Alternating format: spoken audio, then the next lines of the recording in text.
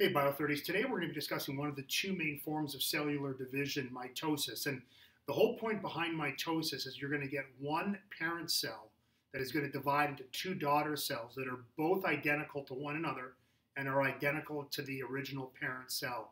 Uh, this form of division is the more common of the two forms of cell division in, in humans because pretty much all of our body cells do it, unless you're a cell that's producing a gamete, then it would be using meiosis not mitosis. But uh, mitosis can be used uh, for a lot of other things. It can be used for, uh, for growth, uh, for maintenance, for repair of an organism. Uh, and it can also be used as a form of asexual reproduction by a lot of different organisms out there. Um, so let's break down mitosis into its, its five parts. We discussed this last video with the cell cycle that uh, mitosis, which is part of that M phase of the cell's uh, cycle, um, it's broken into four stages and then the actual division itself. So you've got PMAT, which was the acronym that I told you to remember, PMAT, which stands for prophase, metaphase, anaphase, telophase, and then the actual division of the cell is called cytokinesis. So up on the board here, I've got the first two phases of, uh, of mitosis ready to go. I uh, just want to kind of tell you about the color coding here, what's going on. Uh, your cell membranes and your nuclear membranes are in black. The DNA is going to be in blue on these diagrams, and then the centrioles and the spindle apparatus, which are formed by the centrioles, are going to be uh, colored red. So just so you have an idea of the actual color coding of these diagrams, and that will be consistent with all four of the diagrams that you're going to be seeing here up on the board uh, in today's video. So let's talk about prophase first. Prophase is the start of cell division. So you got to remember that uh, in the case of an organism, now this cell, by the way, uh, is going to be, this cell is an actual 2n equals 4 cell. So this is a, um, a diploid cell that has four chromosomes in it. That's what we're dealing with in, in this uh, cell division. So you can see right now that at the beginning of prophase, you're getting your, your DNA has already been duplicated. So we're dealing with essentially eight strands of chromatin at the beginning of um, at the beginning of prophase, and they are beginning to condense. So prophase looks very different depending on if it's either early prophase or late prophase. It looks very different, but there is a way you can kind of tell that you're looking at a, at a diagram that has prophase. So the one thing you're going to notice is as we go through prophase from start to the uh, from start to finish in the first phase in prophase, the nuclear membrane begins to disintegrate. So you can see here that the nuclear membrane at the very beginning of prophase is almost completely intact. That nuclear membrane is almost completely gone. It's, it's pretty much gone by the end of late prophase before we hit the next phase, which is, which is metaphase. What you'll also notice is the formation of, of organelles known as centrioles, which really have no purpose in the cell until the cell needs to divide. And the centrioles will actually produce these uh, the structure is called spindle apparatus. They're like fibers that actually extend through the the um, the cytoplasm, and they'll eventually have a role to play with the separation of the genetic material. And we will get to that here when we uh, when we get further into today's uh, uh, video. So the centrioles begin to form. There are little circles there. Our red circles are the centrioles, and the spindle apparatus are the the red lines that are connected between them. And you'll see that as prophase uh, continues, the, the centrioles actually extend out to opposite ends of the cell. So you'll have one centriole on opposite sides of the cell and creating a network of spindle apparatus. And you'll notice that there is one spindle apparatus or a set of spindle apparatus for every section of DNA that's in there. Now, something you might have also noticed as well is that our DNA here is much thinner than over here. We are looking at our chromatin condensing into our chromosomes, but technically they're not chromosomes because at this point they are duplicated, and that's what the little X's are for. These are our sister chromatids that I discussed with you on our uh, video about genetic materials. Um, these are representative of a duplicated chromosome that has been duplicated into two sister chromatids. The center of the X would be your centromere, which is holding those two sister chromatids together. And what you're going to see at the end of late prophase is the the sister chromatids are beginning to align and moving toward the center of the cell. They're not quite there, but that's the, the progression. So prophase, a lot's going on. So let me just recap what's going on. Nuclear membrane is beginning to disintegrate. Centrioles are beginning to form and move to opposite ends of the cell, and they are extending between them with a spindle apparatus. And the genetic material is beginning to condense from chromatin into uh, sister chromatids that are attached at this point, and that is basically stage one, which is prophase. All right, which moves on to our second phase, which is metaphase. Metaphase happens very quickly, but it is a very distinctive phase. When you look at an image of metaphase, it's very easy to spot a metaphase image. The, basically what's happening in metaphase is this. It's right at the end of prophase when all the genetic material has lined up perfectly in the middle of the cell. So it's right at the moment, just before we're going to separate the genetic material. So all the genetic material is aligned in the center of the cell, ready to go. Centrioles are on opposite sides with their spindle apparatus now fully extended, and all the genetic material is beautifully lined up in the middle of the cell. We're still dealing with sister chromatids because they haven't separated yet, but that's essentially what metaphase is. That, that's metaphase, in, uh, I guess for lack of a better term. Which brings us to our next phase, which is anaphase.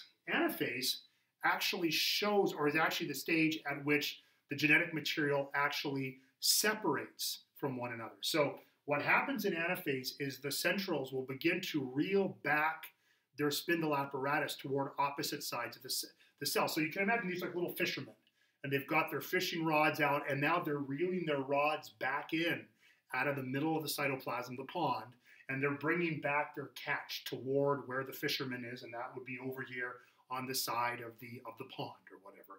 But basically, what's happening now is we're not dealing with chromatids anymore because, as you can see, our sister chromatids that were connected with that central in the middle, or sorry, with the with the centromere in the middle, are now basically being ripped apart. So at this stage, because they've been separated, they're no longer connected with a centromere. They are now considered to be chromosomes again. So these are actually chromosomes that are moving. Now remember, our cell, I mentioned at the beginning, this was a 2n equals 4 cell. We had four strands of, uh, we had, sorry, we had eight strands of chromatin that condensed into eight sister chromatids. Those eight sister chromatids are now separated and we've got four chromosomes moving this way, four chromosomes moving that way. That's the correct number. We've got a diploid 4 configuration on one side and a diploid 4 configuration on the other side. Presumably, these might be paired together. These might be homologous pairs. These could be homologous pairs, but you're dealing with a configuration of 2n equals 4. Things are looking good on the genetics uh, on the genetic front. These daughter cells are going to have the exact same genetic makeup of the original parent cell before it duplicated its DNA in S phase during interphase. All right. So at this stage, you can see that our chromosomes are now separating from each other in anaphase.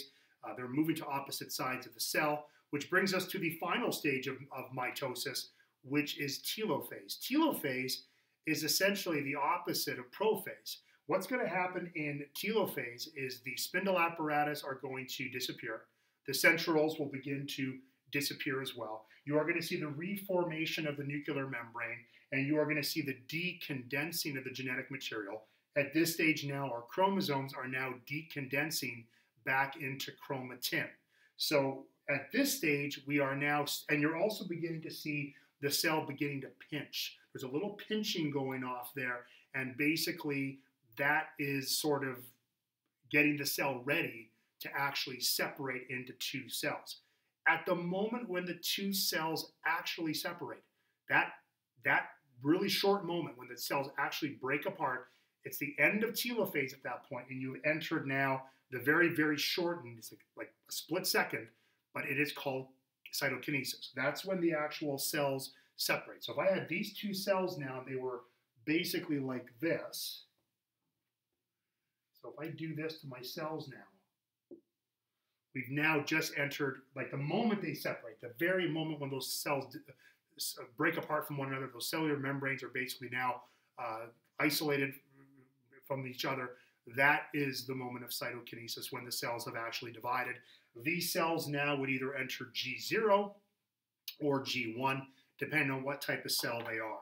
If you want to see what uh, cellular division looks like under a microscope, take a look at the video up here. It gives you a quick little uh, microscopic view of what this looks like uh, under a microscope.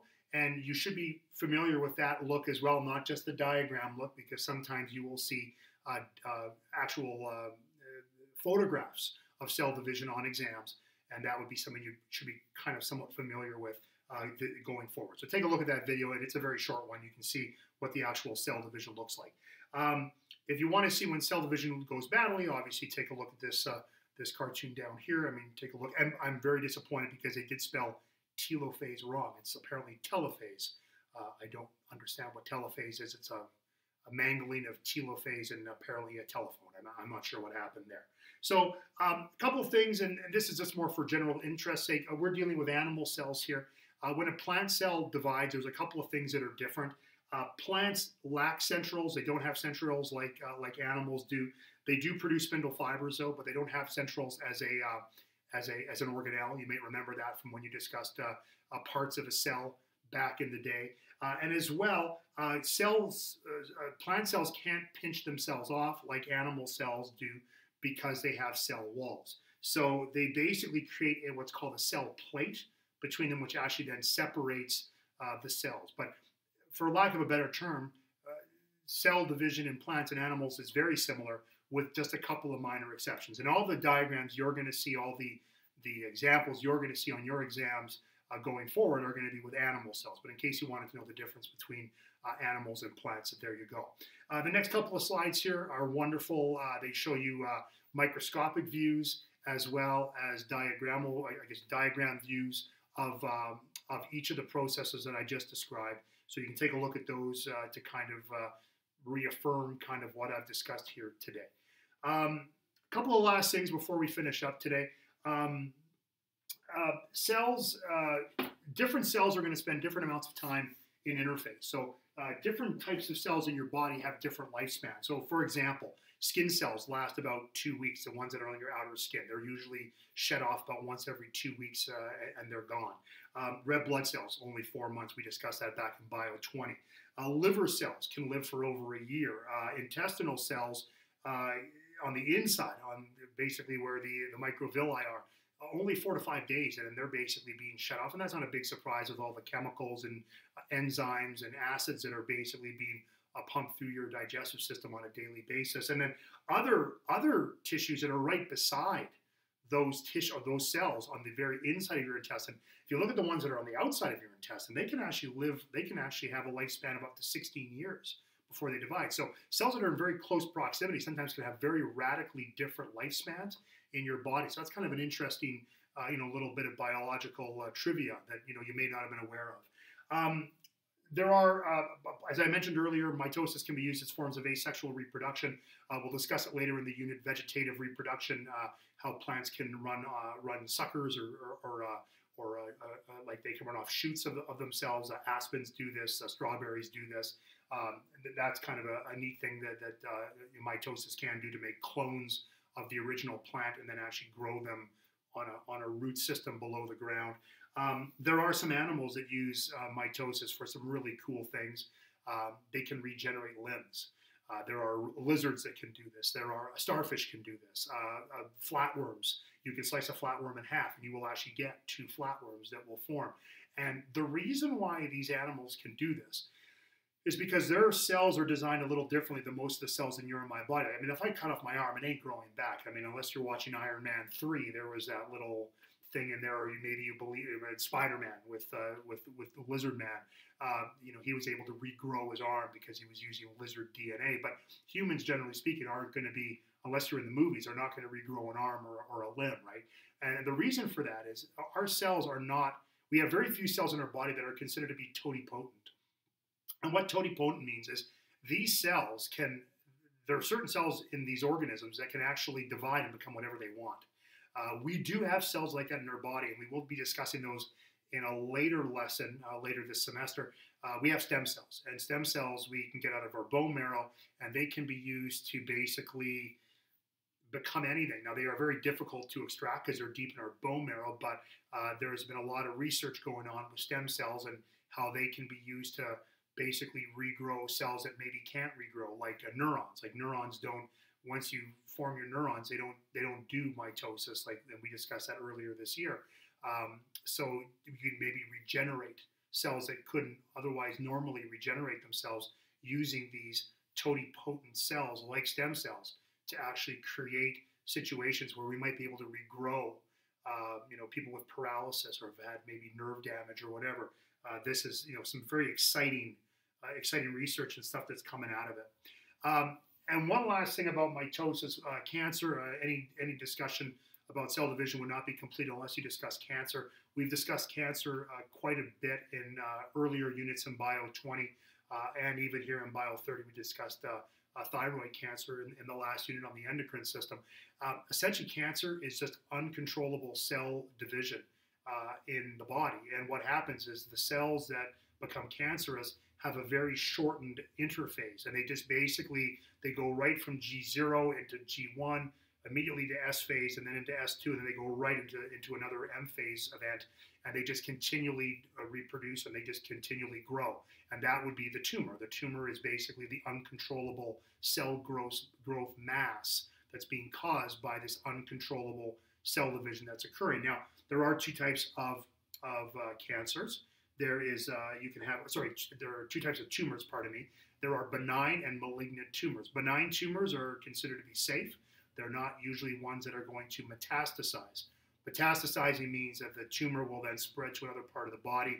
That would be reserved for tumors that are considered to be malignant uh, that actually would form in one part of the body and then those cells can transfer to other parts of the body through the bloodstream or the lymphatic system and then can actually populate in other parts of the body and actually form tumors elsewhere. So when you're dealing with cancer, you the benign tumors are the ones if you want a tumor. I don't think anybody wants a tumor, but if you were to get a tumor, the benign tumor would be the one you'd want to get, not the malignant tumor, because again, the benign tumor will not metastasize, the malignant tumor will. And that is about it uh, for mitosis. This video here, Hank has put together a fantastic video on Crash Course take a look at it. I keep forgetting which hand to use. Right up here, use the card uh, to take a look at that video. Fantastic review on mitosis, about 10 minutes long, but definitely be well worth your, your time to watch that. Your homework uh, after today's uh, topic is to go uh, online and find or get a copy from me in class, get the, uh, the, the, handout um, cell division mitosis. The question booklet will be due uh, after, now I'll give you the date uh, when it's due, probably tomorrow.